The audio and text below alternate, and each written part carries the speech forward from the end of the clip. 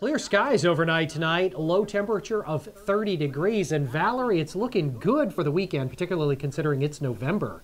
I'm pretty thrilled about it because uh, Lord knows my California skin is still adapting to this weather. But that's right. Well, it's good to have you here. We're looking for sunny. Maybe you brought the weather with us. Maybe, maybe you brought my California sunshine. There you go. Not Could be. 48 degrees for the high Saturday. We'll have complete weather details coming up here on WVTT. And we also have an update on that tragic story from Texas. Four people were killed and 16 others injured when a train slammed into a float carrying veterans on their way to a banquet to be honored.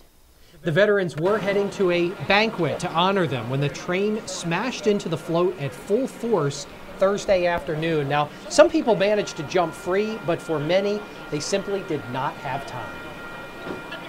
One of the most compelling images that emerged from Superstorm Sandy newborns being evacuated from NYU Langone Medical Center, hospital staff carrying infants down flights of stairs, all because of massive flooding. Now, an extensive cleanup operation is underway. Elizabeth Cohen has our story.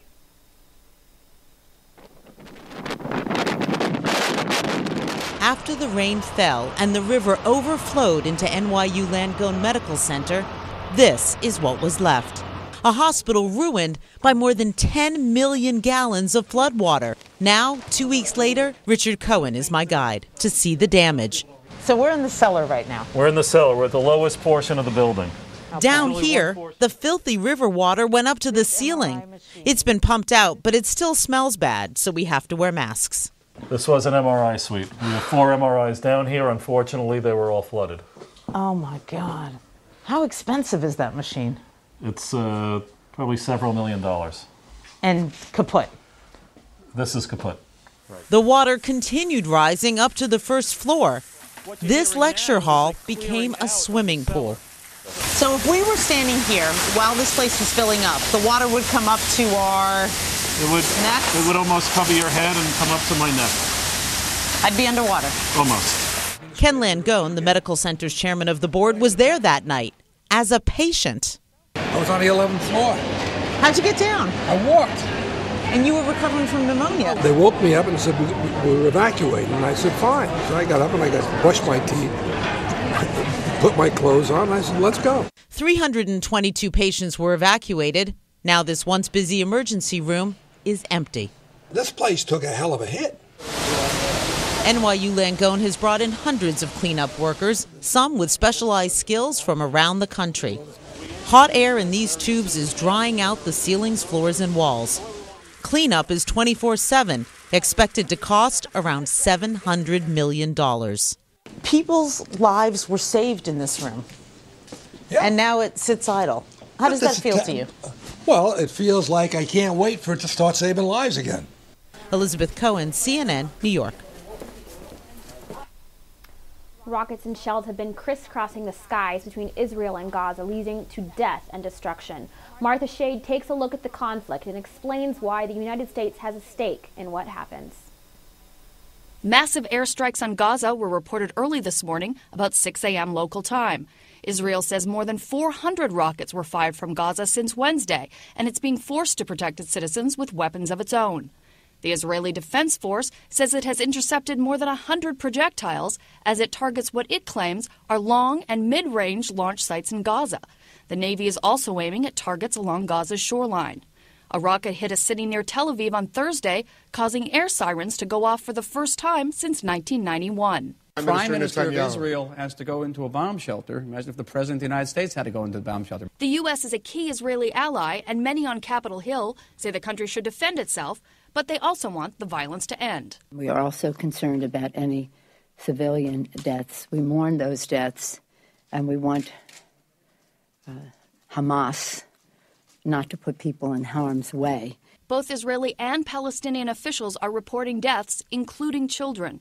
These men at a pizza shop in Ashkelon, Israel, which is near the border, say they are always afraid for their kids and they want the government to make it all stop. Uh, we don't want war, but the Arab people all the time shoot on Israel. One one time, one time, big boom, kill us.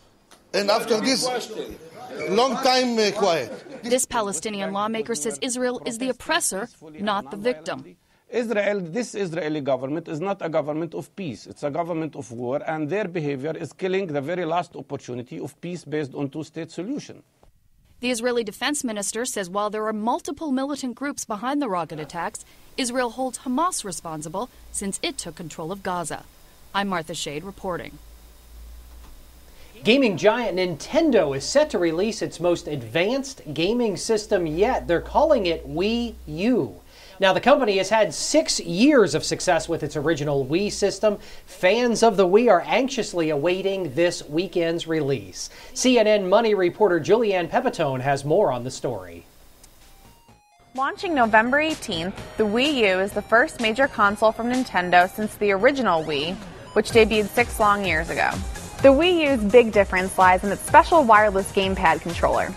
The gamepad features a 6.2 inch touchscreen that works differently with each game, and it usually gives that player some special powers versus the players using regular Wii controllers.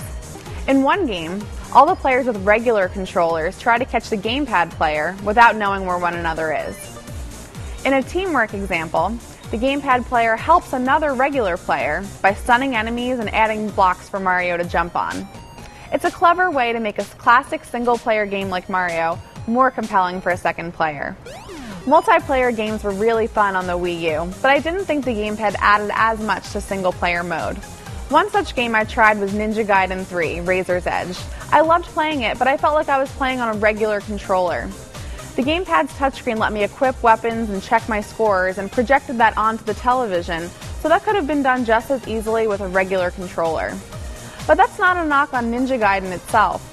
I felt that way about most of the single player games I tried on the Wii U. Nintendo, of course, is invested in making the gamepad count and really make a difference. So it does that well with its own games like Super Mario Wii U. The Wii U also connects to the internet, so you can do online gaming, and you can also watch streaming online video from Netflix, Amazon, and Hulu.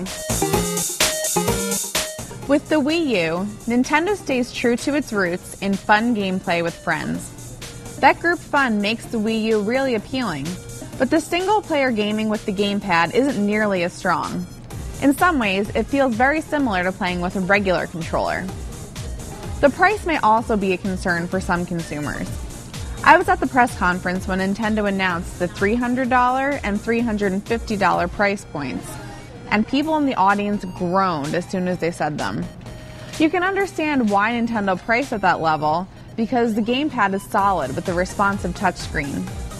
But $300 is still a lot of money, especially with so many device options out there. iPhones and tablets are now part of the casual gaming market that makes up Nintendo's bread and butter, and those could make it harder for Nintendo to stay competitive in a world of app stores and $4.99 games. Overall, the Wii U is a great gaming experience with friends. While the price may seem a little high, I think it's worth it for what you get. But if you're more into single player games, the Wii U may not be the console for you. And in WVTT Business, taking a look at the closing numbers, an up day for the Dow. Whether it was because of that big rally on the Japanese Nikkei index, Nikkei closed up 2% yesterday. Whatever the reason, as you can see, the Dow ended up 46 points, closing at 12,588. Still to come on the 6 o'clock report, we have our WVTT community calendar and also complete weather details straight ahead as well. Stick around. This is the 6 o'clock report on News Channel 25 WVTT.